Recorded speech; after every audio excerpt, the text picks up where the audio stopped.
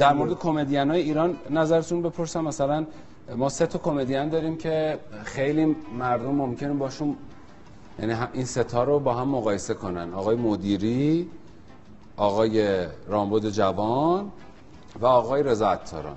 نظر شما رو در مورد این سه بزرگوار. به نظر من هر کدومشون توی ژانر خودشون موفقن. آقای مدیری توی ژانر خودش و ژانرش هم همونه که سریال باشه شو باشه. فیلم سینمایشون رو دیدین؟ یا فیلم سینمایی باشه. فیلم سینمایی آخریش که فوق العاده زشت بود فوق العاده بد بود. من متاسفانه خیلی فکر می‌کردم که فیلم عجیب غریبی باید ببینم. ولی اصلا فیلم خوبی نبود. البته من به شخصه دوست داشتم یعنی حالا نظر من با نظر شما یکی نیست ولی نظر شما محترم تر بله نه نه. تولدتون هم خیلی مبارک بشه نه نه نه. من نظر شخصی خودم نظر شما کارشناسانه تر آره. دیگه آقا این که مردم ما قاط زدن و دور از جون هیچ هیچ کس هیچی رو متوجه نیست و همه رو هم دیگه رد میشن و بی دلیل هم معلوم برای چی؟ بعد آدم ها هم دیگه رو له می‌کنن و بعد از اون بر یه عده آدم می‌بینیم خیلی شیک میان با میسن و اینه که من شما دوست نداشتین آره. آقای رامبو قابل باور نبود برام. می‌دونی چی میگم؟ در صورتی که ایشون جا داره که کارهای خیلی گنده تر از این بکنه و حالا حتما نیازی نیست کسی که بازیگر خوبیه مجری خوبیه بیاد کارگردان ضعیفی باشه. می‌دونی چی میگم؟ همون کارهای تلویزیونی وقتی عالی داره ساخته میشه حالا حتما نیازی نیست که سینمایی بیاد بسازه یه کسی از فقط کارگردان تلویزیونی خیلی هم موفقه خیلی هم عالیه.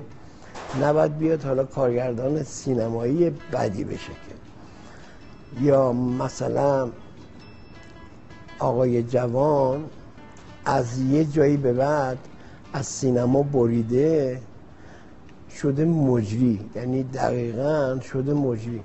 ما مجری زیاد داریم در تلویزیون. حتی تو برنامه خودش دیگه این اواخر خودش کاملا نشسته بغل تماشاچی.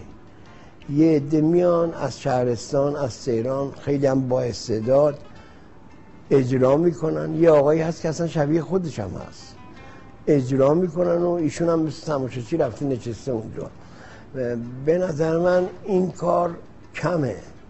یعنی این کار به اندازه آقای رامبود جوان نیست. آقای رامبود جوان خیلی بیشتر از اینه. آقای رضا عطاران؟ آقای عطاران بسیار آدم آرتیستیه. قلم خیلی خوبی داره. چون نگاهش به جامعهش خیلی دقیقه. اصلا هر هنرمندی وقتی خوب جامعهش رو ببینه و بشنوه می‌تونه توی کارش متخصص باشه. یه نقاش یه عکاس حتی یه موزیسین وقتی جامعهش رو خوب بشناسه می‌تونه آرتیست خوبی باشه. مخصوصا ما که کار نمایشی می‌کنیم یعنی یه آینه انگار بر میداریم یه تیکه از خود جامعه رو نشون خود جامعه میدیم.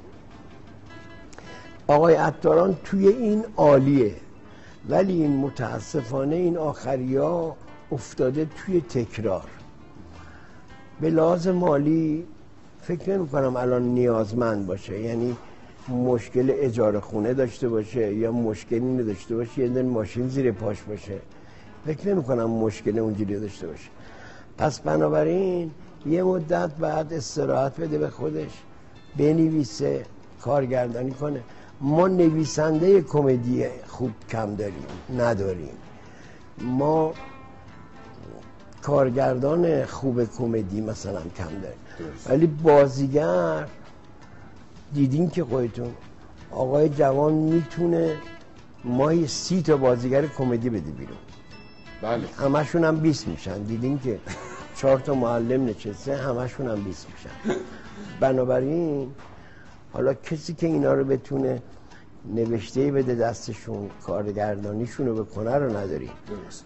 آقای عطاران خیلی می‌تونه بهتر از خودش استفاده پس بین این سه بزرگوار شما آقای عطاران بیشتر میپسندین من اینجوری متوجه شدم. بله. خیلی متشکرم. ما یه بخش می‌خوایم ببینیم. فقط من توضیح بدم که آقای مدیری واقعا دردانه تلویزیونن. کارهای درخشانشون به گفته شما در تلویزیون همیشه ماندگار کارهاشون باعث شده فرهنگ زندگی ما جای تا جای تغییر کنه و اینقدر تاثیرگذار بودن. همیشه جاشون رو تخم شماست